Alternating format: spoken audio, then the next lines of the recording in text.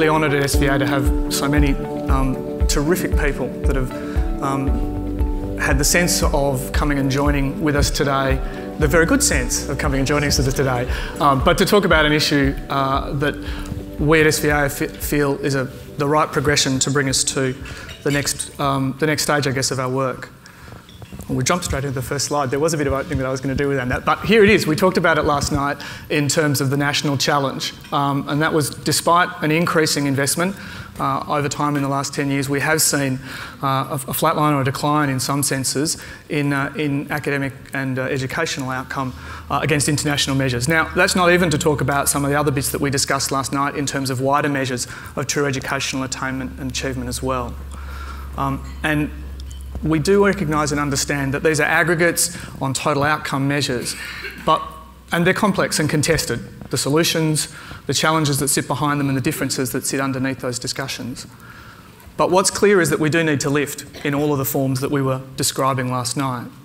Um, and to do that, we need to be lifting in the most efficient form possible. Because again, we had you know, a rigorous conversation last night about the impact and the importance of funding and the direction of funding. But underpinning that conversation is a recognition of scarce resource and the need to target that resource as effectively and as efficiently as possible. And we, we, you know, we talked about it briefly last night. We can consider that as a, getting the best educational return on our investment.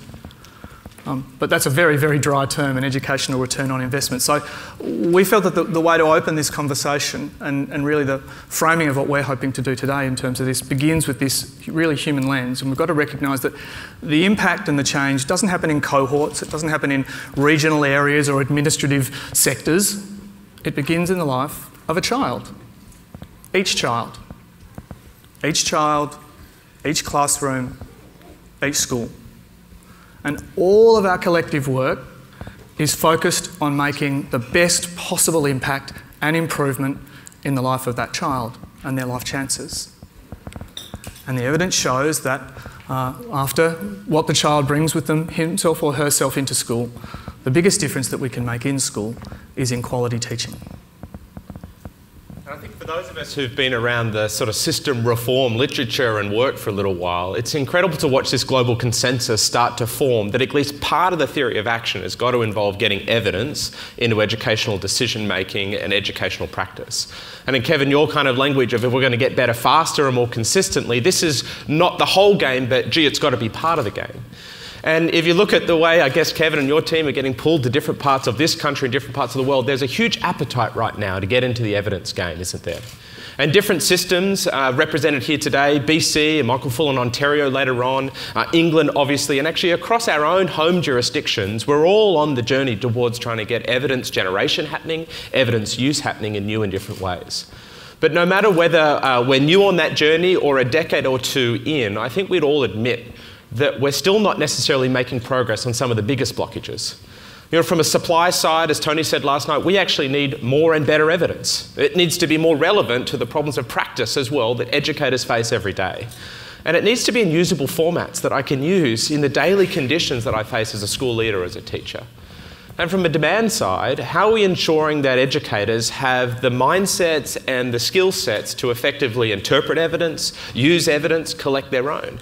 And as Pete Goss always pushes, it's not just about their skills, but also the conditions under which they work. How do we ensure the conditions at the school level and the system level that these people are well resourced and it's enabling conditions to make the use of evidence the most rational choice under the conditions in which they work? And so, what we're really talking about today is evidence systems. But right at the heart of an evidence system has got to be the school leader and the teacher. Because if we fill our libraries or our resources with more and more evidence, but we don't enable those core actors to apply evidence into practice, we're not going to see the results that we're looking for. And so we want to suggest that any vision of an evidence informed system has really got to have empowered educators who are engaged in evidence, generating evidence, empowered by evidence, right at the core of the system. And so, whilst there's lots of us here who might represent research or um, system leaders, Actually, this has got to be an agenda that's not just about policy and research. It's got to be an agenda that comes actually demanded by the profession. A profession who wants to use evidence to push their own standards of practice. A profession who wants to use evidence to be empowered to make a bigger impact on student learning than ever before. And so we really want to place the, the educators at the heart and to actually suggest as well, whilst we're talking about systems and ecosystems of evidence, it's the school where the real action happens. And it's the school leader where she has the role, where he has the role to create the conditions that enable people to use evidence in meaningful ways in the context in which they work. Making sure professional learning is evidence based and actually helps educators come around data in meaningful ways. Making sure the use of evidence is valued at the school culture level, the shift in the conversations in the common room. And so we really believe that schools and school leaders are the locus of change in the work. And so, with that clear frame, we're constructing, and I guess, our contribution to today's conversation in summary format is the concept of an evidence informed ecosystem, which is building on the work of, of many others. But the two parts to that are disciplined innovation or a process of continuous improvement that's running in schools, owned and led by school leaders and a team of uh, passionate and informed educators inside the school, generating the research questions, which is the top flow across to the right hand side of a wider ecosystem. So their data, their challenges, their questions are what are the starting point of an evidence on the right hand side, a wider evidence chain that works its way through producing um, both high quality evidence and evidence that is presented back in forms that can be meaningfully used and deployed straight into practice. So we're going to spend a little bit of time just on those two sides of this ecosystem. And in terms of the, the right-hand side of that wider evidence chain, we begin at 12 o'clock with evidence production. Um, but again, we're recognising that the, the impetus or the questions to those are those that are living and are real and that could make the biggest difference into practice. Um, we recognise that there is a range of evidence uh, that people build in terms of research practice in schools, um, external sources providing validated research right the way through to RCTs that Kevan was talking about last night. But all of it needs to be high quality, high quality and well intentioned. And it needs to feed through into the next stage, which is forms of synthesis. So we know from John Hattie's work the importance of meta-analyses of large data sets that allow us to understand and draw implications, meaning from multiple disparate contexts that allow us to understand what might be replicable.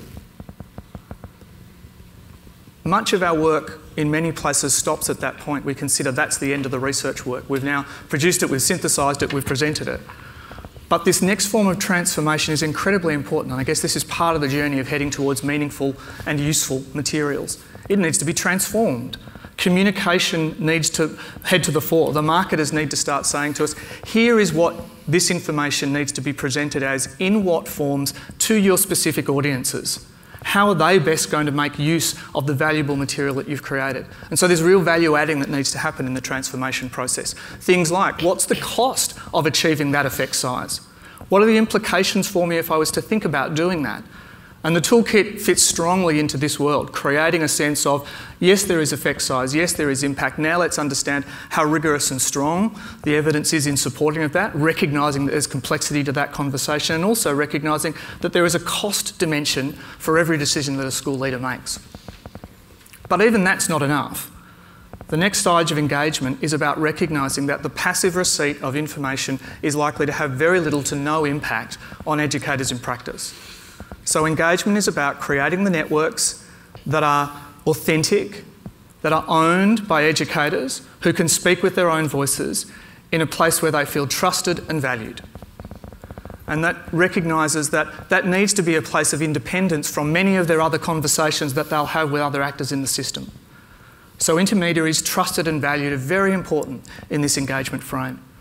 And then finally to implementation. At the end of this, it needs to be able to be used in ways in which a school leader can say, got it, I'm going to take it, let me understand what I now might do with that in my own context. Okay, so we've got this sense of a great consulting slide, if you like, of an evidence production chain and all the elements that we need. But let's surface back into the life of a school leader. Uh, imagine for me uh, a school leadership team at a high school in southwest Sydney. Uh, her name's Sue, the principal of the school. She's bringing a team together, and they have a sequence of three meetings this term, term four, to get ready for their new school improvement plan. Every New South Wales person, there's three strategic initiatives and five Ps and milestones. They're doing the whole new process.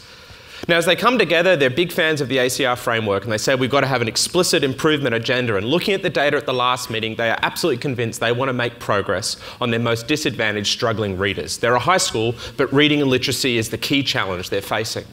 They come together, they got 50 minutes allocated. It's week two of term four, and of course, they lose 15 minutes of that to a parent who needed to see the principal and had no appointment for that meeting.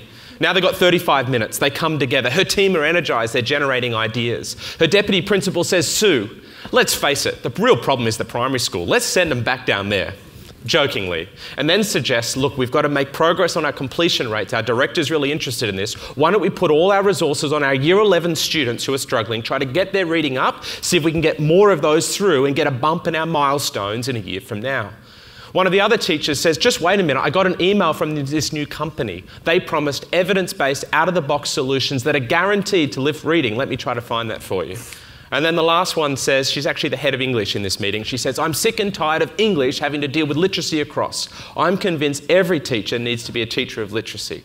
Sue's sitting there thinking, you know what, you're right, but there's no way I want to have that conversation with the head of science. 35 minutes is up, they've barely made a decision. That evening at six o'clock, she's the last one out of the building again. She thinks, I'm just going to ring David, my former DP, who's now up on the northern beaches, get his sense of what he's doing. They have a great conversation. Actually, David is absolutely stoked. He's making all this progress with his low achieving readers. But they're using a program from UTS, and she gets off the phone and says, Is this really going to fit with my context? You see, this is the reality of working out, in your language, Kevan, how to use evidence as a platform for professional conversations. And so, as we think about this wider evidence chain, how are we going to create the kind of relevant, useful formats of evidence that could meet a team of educators for 35 minutes as they make a decision on what to do next?